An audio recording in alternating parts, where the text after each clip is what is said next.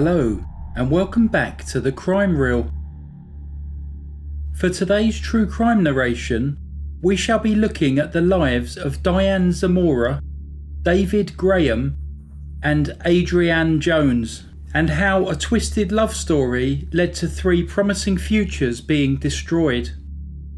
David Christopher Graham was born on the 2nd of November 1977. David was the youngest of three children and grew into a hard working, intelligent young man. He was known as being a perfect guy, with some of the words used to describe him including good looking, polite, sporty, brilliant, and athletic. From an early age, David had decided to pursue a career in the military. Diane Michelle Zamora was born in Crowley, Texas, on the 21st of January 1978. She was the eldest child, having three younger siblings. Her mother was a nurse who worked hard to support the family and at times would hold down three different jobs in order to make ends meet. Diane's father was an electrician who was often out of work, which led to the family having financial difficulties. They ended up living with Diane's grandparents, who were very religious and very strict. Diane worked hard at school and achieved excellent grades, and like David, wanted a military career.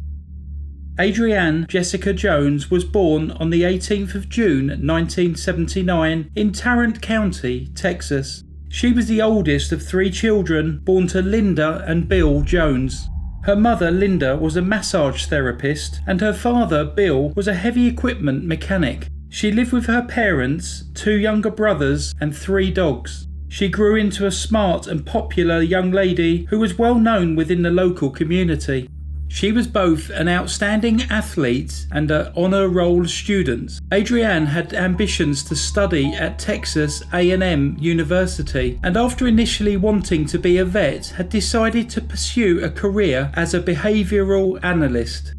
In 1991, David and Diane, both aged 13, met for the first time at a Civil Air Patrol meeting at Spinks Airport. They immediately hit it off and became close friends. Diane went on to attend Crowley High School, whilst David attended Mansfield High School, which was around 20 miles away. Adrianne also went on to attend Mansfield High School.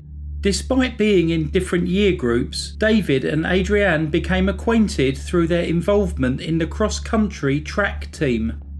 In August 1995, Diane and David's close friendship turned to romance, and from the moment they started dating, their relationship became incredibly intense. After just over a month of dating, the pair became engaged and set their wedding date for five years later in order to directly follow their college graduations. Two months after their engagement, on November the 4th, 1995, David and Adrianne attended a regional track competition. According to David, at the end of the competition, he gave Adrianne a lift home. He stated that Adrianne then suggested that they drive to a quiet location. The couple stopped and had sex in the car. After dropping Adrianne home, David, who was apparently racked with guilt, went to visit Diane, taking her a cuddly toy as a gift. Diane recalls that when David arrived on that particular evening, he seemed quite odd in his behaviour. It wasn't for another month, at the beginning of December, that Diane became increasingly suspicious of David's behaviour. They ended up having a heated argument, during which she questioned his faithfulness. David admitted to Diane that he had had sex with Adrianne on that one occasion. Diane flew into a violent rage. Not only had David abused her trust, but she believed that he had tarnished their entire relationship, as until that point they had only ever slept with each other. Crying hysterically, she started banging her head against the wall and floor, screaming that she could not live with this pain. David tried to calm Diane, but she was inconsolable. She believed her life to be over, as David had destroyed the purity of their relationship. Diane then started screaming that the only way they would ever be able to cleanse their love was by killing Adrian. David, seeing the intense pain that he had inflicted upon Diane with his actions, wanted to do anything to make it right for her. The pair then quickly formulated a plan. David would invite Adrianne to go out with him, drive her to a remote area where he and Diane would kill her. They would then weigh her body down and throw her into the lake. At around 9 pm on Sunday, December the 3rd of 1995, Adrianne returned home from her job at a local takeaway. She then convinced her mum, Linda, to go to the nearby 24 hour gym for a workout, after which the pair returned home. At around 10:45 p.m. that evening, the phone rang at the Jones family home. Adrianne answered and her mother overheard her talking to David. Despite Linda telling Adrianne that it was too late for phone calls, Adrianne continued to speak to David, who was seemingly upset about something. Sometime between 11pm and 1am that night, Adrianne sneaked out of the house to meet up with David. David drove her towards Joe Pool Lake. Unknown to Adrianne, Diane was hidden in the back of the car. When David stopped the car at the lake, Diane immediately revealed herself and confronted Adrianne.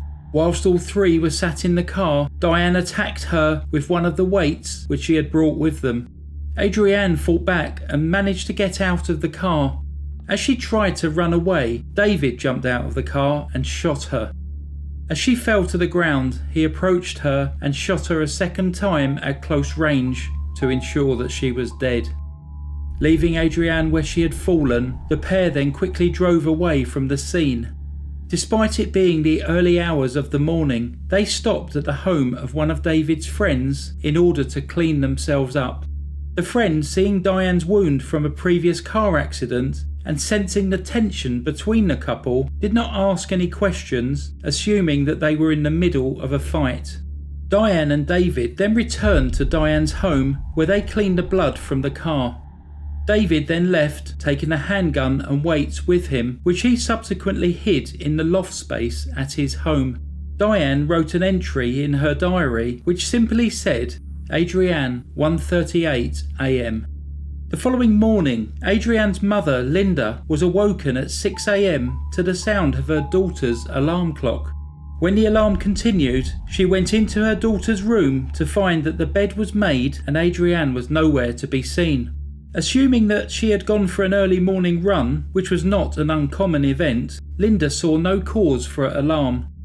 It wasn't until two hours later, at around 8am, when Adrianne still hadn't returned, that Linda became concerned and contacted the police. Meanwhile, the authorities had already been notified of a body in an open field alongside Seaton Road in Mansfield, by late afternoon, the two cases had been connected and the family were informed that Adrianne had been murdered. The following day, the news of Adrianne's death was announced in her high school. A private family memorial service was held on the 7th of December, with a separate memorial service being held at Adrianne's high school the following week. In attendance was David, crying and sharing condolences with fellow students. Despite police efforts, the crime remained unsolved and family, friends and locals tried to piece their lives back together. Six months after the murder, on 28th of June 1996, Diane and David were featured in the local newspaper, proudly talking of how they had both earned places at prestigious military academies. A week later, they both left Mansfield to pursue their fledgling military careers.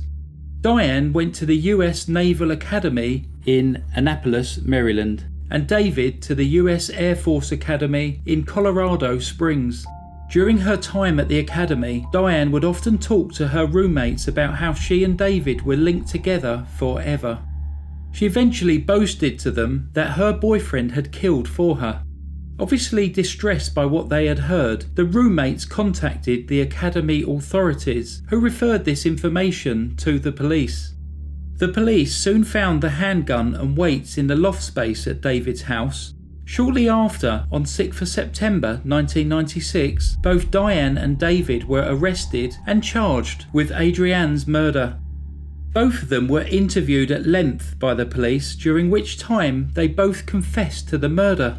Their stories concurred in that they killed Adrianne because she and David had had sex, They chose to drive her to the remote lake where Diane beat her around the head before David shot her. However, they both later recanted their confessions, stating that they had been made under duress. At this point, they turned on each other, both claiming that the other was the murderer. Diane and David were tried separately. Linda Jones, Adrianne's mother, requested that the death penalty wasn't an option in the event of them being found guilty. She did not want other parents to go through the pain of losing a child in the way that she had. Diane's trial began in February 1998. Despite her earlier confession, she now claimed that she was at the scene of the crime but did not participate in the killing. A crucial matter in the trial was to determine who the dominating force was in David and Diane's relationship. The trial lasted two weeks, during which time various witnesses stated that Diane had shown no remorse for her part in Adrianne's death. The jury deliberated for approximately six hours before finding Diane guilty of murder. She stood emotionless as she was sentenced to life imprisonment. She would be eligible for parole after 40 years. David's trial began in July 1998. During his trial, both the coach and another member of the track team testified that David had not driven Adrianne home from the meeting on the 4th of November 1995 the night which he claimed was when he had sex with Adrianne.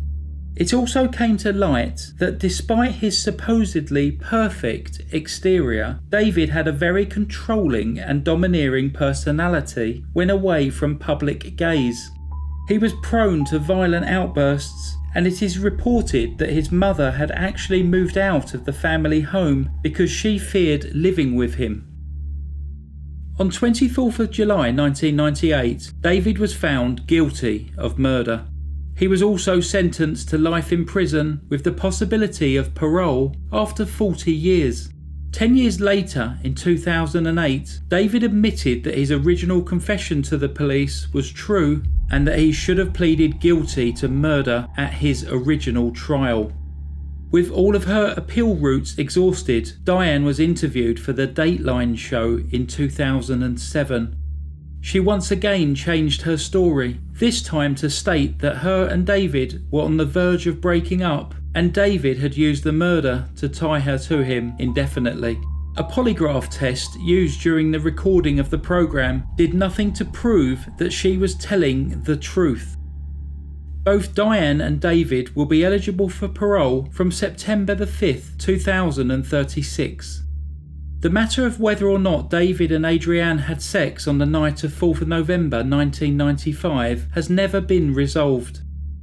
David's story on this changed multiple times over the course of the police interviews and trials together with the coach and fellow teammates' testimony that David hadn't given Adrianne a lift home that night, it would seem quite likely that David made up the entire story to make Diane jealous. And for this, Adrianne paid with her life. Thanks for listening to that story. I have one additional bit of information that I couldn't fit into the story, but it's just a little bit more information for you. Whilst in prison, Diane began writing to another prison inmate by the name of Stephen Mora. Stephen was in prison for auto theft and burglary, and the pair soon began a postal relationship. Despite never having met in person, on June 17, 2003, Diane and Stephen were married by double proxy, with Diane's mother and an unidentified male standing in for the couple. Unsurprisingly, this marriage ended in divorce. It is believed this is the first proxy marriage in Bexar County. Well, thanks very much for listening to that story. Please leave any comments down below in today's petty crime, our latest suspect is Batgirl. She's owned by Wanda.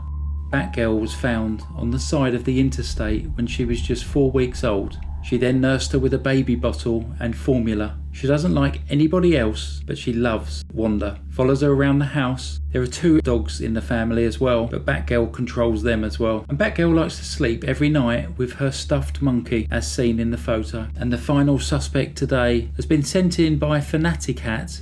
This is Shiloh, her tuxedo cat. He was adopted over a year ago, and he's two and a half years old now, and he's very spoilt.